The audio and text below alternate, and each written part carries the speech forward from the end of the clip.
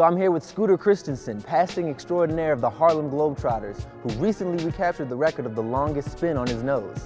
Now, I don't know if he's gonna teach me all of that, but he's gonna teach me some passing moves that I could use on the court. Pass number one. Behind the back, between the legs, behind the back. Boom. Oh, boom. Yep. There you go. There you go. And then the globetrotter thing always at the end is like, so you put your personality into it. So that's that. That's why I'm like, hey, pointing at you. I got So you. that's like the globetrotter magic. So My swagger, I gotta fix boom. Hey, I point right to me. got you, I will point to you. Here we go. Behind the back, between the legs, behind the back.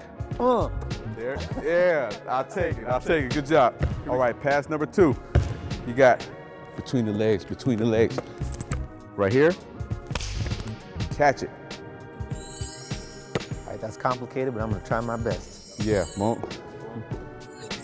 Catch it. Oh.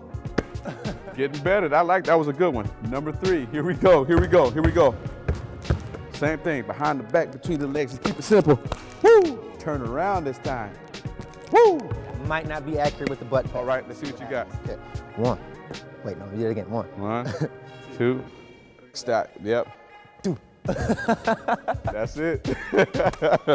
we'll do that one. Thank you, Scooter, for teaching me those moves. I'll try my best to use them on the court when I can. Hey, man, you look good out there, man. Thank you. Hey, this is Scooter from the world famous Harlem Globetrotters. I'm encouraging everybody to come out January 2nd at the Scottrade Center. We have a doubleheader. One game at 2, another one at 7 p.m. It's our 90th year, and we're celebrating our 90th tour. So uh, if you've never seen the Globetrotters, it's going to be a special treat.